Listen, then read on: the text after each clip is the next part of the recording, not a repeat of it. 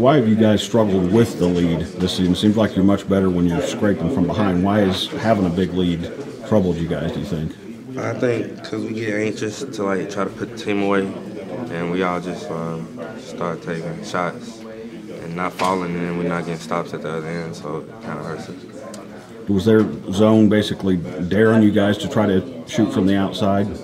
Um, a little bit. Coach told us just uh, get our feet set, knock it down, don't worry about that. But we weren't getting stops at the other end. I think that that's why they came in. Was there anything differently they did in the second half? Because y'all were, only, y'all, I believe, six of ten from three in the first half, one of thirteen in the second. Was it, or was it just not falling? Uh, we just weren't falling. We was taking bad shots when we got up too. We weren't even using the clock. We were just out there playing like we was still down. But um, yeah, just came down. When a coach is on the sideline telling you guys to do that and that's still going on, is that frustrating to you guys that that you're not, not able to follow what you've been told to do?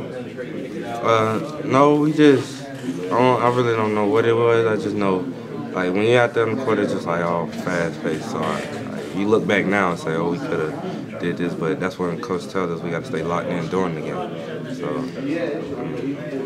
Is it easy to look right now and think that you guys could be sitting here four and zero? Oh yeah, definitely. Easy.